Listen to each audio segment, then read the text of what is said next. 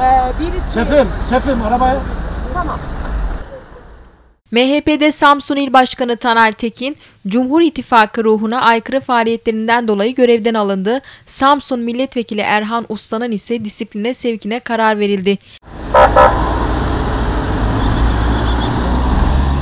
MHP'de Samsun İl Başkanı Taner Tekin, Cumhur İttifakı ruhuna aykırı faaliyetlerinden dolayı görevden alındı. Samsun Milletvekili Erhan Usta'nın ise Merkez Disiplin Kurulu'na sevki için çalışma başlatıldı. Sefalar getirdiniz.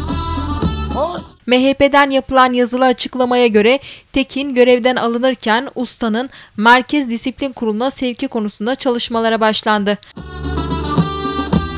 Türk siyasetinin Erhan Usta, ittifak olmazsa olmazımız değil ifadesini kullanmıştı. Usta, MHP olarak Samsun'da 7 belediye istediklerini ancak AK Parti'nin 2 belediye verdiğini söylemişti. MHP yönetiminin ise bir belediye fazla olsun düşüncesinde olmadıkları belirtiliyor.